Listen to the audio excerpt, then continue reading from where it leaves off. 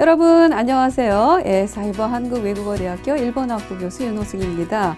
여러분들 큐슈 지방 많이 들어보셨죠? 저희 나라 우리나라와 가장 가까운 지역인데 앞에서 우리 정현혁 교수님한테 예, 큐슈의 대표적인 도시 나가사키하고 운젠 같이 살펴보셨을 거라고 생각을 하는데 어떠셨어요? 예, 강의 재미있으셨죠? 물론 저희가 이번 이 기획을 통해서 그 간단하게 예, 소개를 해드리고 나머지 좀 깊이 있는 지식은 또 현지에 가서 조금 같이 살펴볼 예정인데요. 어, 지금부터 저는 이제 구마모토를 출발해 보려고 합니다. 구마모토는 우리 또 한국인들이 유독 가깝게 느껴지는 그런 지역이기도 한데요. 왜냐하면은 성, 예, 일본의 그 대표적인 어떤 사진을 여러분들이 접하게 되면 가장 많은 게 후지산, 그 다음에 아마 일본의 성이 아닐까 싶은데 그 3대 성 중에 가장, 예, 3대 성 중에 유명한 3대 성이 있는데 그 중에 하나가 구마모토 성입니다. 이렇게 구마모토 성은, 예, 구마모토란 지역은 그 현대 도리학에 가장 그 가까이 느껴지는 지역이기도 한데 그 예전 고대부터 굉장히 우리하고 가까운 그런 어떤 관련성이 있는 지역이었습니다. 여러분들이 그 우리가 그 한일 관계사를 살펴보면은 고대부터 이제 출발해서 물론 그 전에도 BC 뭐 2세기 때도 가장 그 연결이 그 밀접하다고 생각이 되는데 우리가 흔히 얘기하는 그 일본이라고 하면 가깝고도 먼 나라 이렇게 얘기를 하는데 왜 가깝고 왜 먼 나라라고 하는지 저랑 오늘 또 예, 강의랑 또 통해서 예, 좀 살펴볼 수 있을 거라고 생각을 하는데요. 가깝다는 거는 그 지리적이나 그 다음에 문화적인 특히 뭐 어학, 언어까지도 뭐 어순이 비슷하다 아니면 계통, 언어 계통이 비슷하다 이래서 가깝다는 얘기를 많이 하는데 먼 나라는 역시 아무래도 관계에 비롯된다고 생각이 듭니다. 그래서 고대부터 한반도 이 남쪽 과 그다음에 큐슈 지방은 그 일의 대수라는 말을 쓰죠. 일의 대수의 그 밀접한 관계를 유지해 왔는데 특히 고대 유물, 유적지나 유물들 그리고 건국시나 들이 보면은 살펴보면 유사성이 굉장히 많죠. 요거에 대한 깊은 내용은 여러분들 또 현지에 가서 제가 예, 설명을 해드리겠습니다. 그리고 어, 그 일본 천황이 자기는 백제의 후손이다 이런 얘기를 깜짝 발표를 해서 예, 모든 일본 사람들이 경악을 한 그런 사건이 예전에 있었습니다. 또 이것도 더불어서 예, 현지에서 제가 설명을 해드릴까 합니다. 그 다음에 근세로 넘어오면 규슈 지역에 특히 구마모토 출신들이 그 우리가 여러분들이 그 한국 사람들이 일본 사람 중에 가장 싫어하는 인물 둘을 들으려고 하면 도요토미 히데요시하고 두 번째가 이토 히로부미인데 그 중에 하나 도요토미 히데요시를 무지 싫어하죠 한국인들이. 왜 싫어하냐 하면 에, 이때 임진왜란이 에, 나서 우리의 그 영웅인 이순신 장군 결국 죽었죠 돌아가셨죠. 이 그 구마모토 출신들이 그 임진왜란 네, 침략할 때 거의 그 어떤 선봉장으로 활약을 하죠. 예, 좋은 의미의 활약이 아니라 한국인 쪽에서 보면은 굉장한 사상자를 내는데 특히 이 중에서도 예, 가또 기요마사란 여러분들 아마 가등청정이라는 한국인 어, 그 한국어로도 그 인명 이름이 아마 익숙할 거라고 생각하는데 요즘은 사람 이름도 그 나라의 음, 음으로 발음해 주자는 그런 원칙들이 있어서 세계적으로 예, 우리가 가또 기요마사란 이름은 좀 기억해 둘 필요가 있을 거라고 생각합니다. 이 사람이 이제 선봉장으로 해서 예, 전쟁 참화를 겪게 되죠.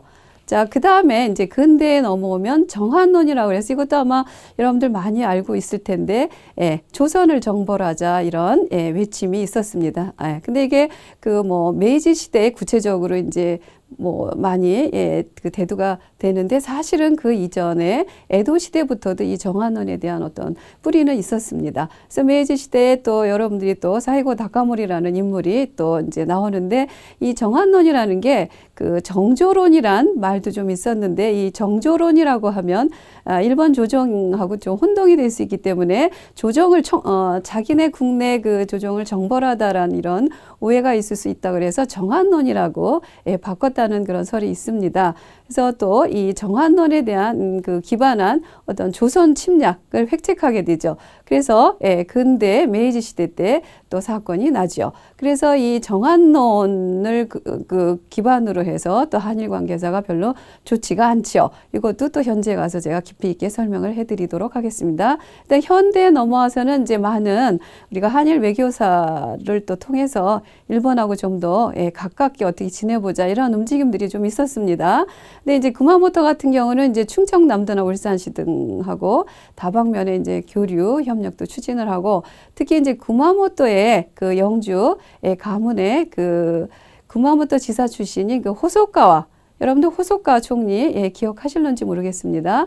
예, 어, 호소카 모리히로의 이 가문이 그 또 구마모토의 영주 가문인데 이분이 또 총리를 잘 마무리하고 예, 다른 사람보다 그렇게 막 질질 끌게 오래 하진 않았습니다. 그리고 물러날 때 아주 깨끗하게 예, 물러난 인물 중에 하나인데 또 이분이 또 그 과거에 대한 어떤 반성도 좀 하고 그 다음에 요즘 문제가 예, 많이 되는 그 신사참배 이런 걸 안 했습니다. 그래서 좀 화해를 하는 노력을 좀 보였죠. 자, 구체적인 예, 행동이라든지 노력은 어떻게 됐는지 또 예, 나중에 같이 살펴보기로 하겠습니다. 이렇게 한일 관계사는 아주 예전부터 가까우면서도 또 여러 가지 그 침략이라든지 이런 것 때문에 예, 결코 가깝기만 할 수 없는 멀어지는 관계에 또 계속 예, 발생을 했던 거죠. 자, 그 다음에 구마모토. 자, 그럼 우리가, 예, 여러분들 이제 구마모토, 예, 그, 많이 나오는 성이 나오죠. 일본에 아까 말씀드렸던 3대 성 중에 하나라고 얘기를 했는데, 특히 이 구마모토의 예, 성이 그 유명한 거는, 예, 그 아까도 말씀드렸지만 가토 기요마사가 예, 이 구마모토 성을 쌓으면서 예, 거기에 그 이름도 유래가 좀 되고요. 구마모토 성을 쌓으면서 그 한국 조선에서 예, 그 조선 예, 그 사람들을 끌고 와서 축성을 했기 때문에 그걸 스로도 또 한국인한테는 굉장히 어, 어떤 의미가 있다고 생각이 됩니다. 그래서 우리가 보통 구마모토 하면 성이라는 어떤 고정관념이 많은데 사실은 구마모토에는 그 밖에도 우리가 알아야 될 사실이 참 많이 있습니다. 그 대표적인 거는 일단 이름에서 보면은 구마가 사실 곰이란 뜻인데 처음부터 구마모토가 그, 그 한자를 곰 우자를 쓴 게 아니라 아, 별하는 의미, 예, 별을 구마라고 읽은 데서 유래가 되었습니다. 그래서 가토 기요마사가 구마모토의 그 성을 쌓으면서 이 곰자를 어, 써서 예, 어느 날에 구마모토가 된 것이라고 하는데요. 특히 이 그 구마모토에도 유명한 것은 뭐냐면 곡창지대입니다. 왜냐하면 별을 예, 썼던 그 한자하고 그 관련지어서 생각하면 예, 예전부터 예, 에도 시대 부터 현재까지 곡장 지도로 유명해서 키쿠지미는 최고의 품질을 인정을 받고 있습니다. 그래서 특히 이 구마가 들어가는 지역은 수리 시설이 잘 돼서 예, 벼해 생산이 아주 예, 많다고 그렇게 알려지고 있죠. 그래서 질이 그 지명하고 관계된 이런 유래도 있습니다.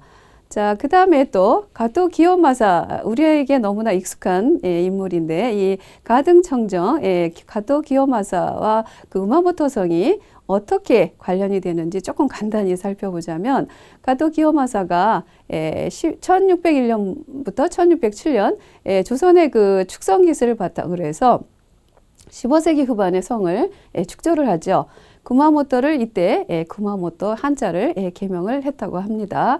자, 구마모토 성은 음, 아까도 말씀드렸지만 오사카성, 나고야성과 함께 3대 성 중에 하나이죠. 그래서 어, 또 유명한 게 뭐겠냐면 굉장히 잘 졌다고 해요. 워낙 예, 견고하게 잘 져서 난곡 난공불락의 성이다 이렇게 알려지고 있죠. 근데 이 가토 기요마사가 사실은 임진왜란 때 그 울산 전투에서 처절하게 패배를 했습니다. 그래서 굉장히 이제 고생을 많이 하는데 그때 이제 마실 물도 없어서 뭐 말에 피를 뭐 이렇게 받아서 마셨다든지 아니면 자기 오줌을 예, 받아서 마셨다든가 이런 이야기들이 전해져 내려오고 있죠. 그 다음 이제 또 식량이 없어서 식량이 없어서 많이 고생을 해서 그 구마모토 성에 가면 은행나무가 한 800그루나 있어요. 그래서 그걸로도 굉장히 유명한 지역인데 구마모토 성이 이때 이 가토 기요마사가 너무나도 고생을 해서 그때 이제 은행을 심고 그다음에 성 안에 보통 다다미는 이구사라는 그 골풀이라고 하는데요. 그걸로 이제 다다미를 이제 만들어서 까는데 이분이 얼마나 이분이라는 용어 써서 좀 그렇지만 이 가토 기요마사가 얼마나 고생을 했는지 먹는 것을 굉장히 중시해서 고구마 줄기로 어, 이 다다미를 만들어서 먹을 수 있게 식량 확보를 위해서 대비를 했습니다.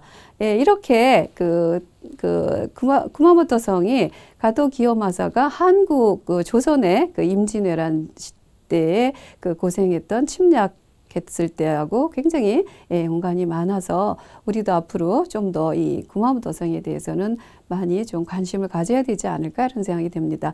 이때 조선인을 굉장히 동원을 많이 해서 어, 성을 쌓았다고 하는데 특히 또 물 고생도 많이 했다고 좀 전에 말씀드렸지만 우물을 120개나 파서 또 대비를 했다고 하죠.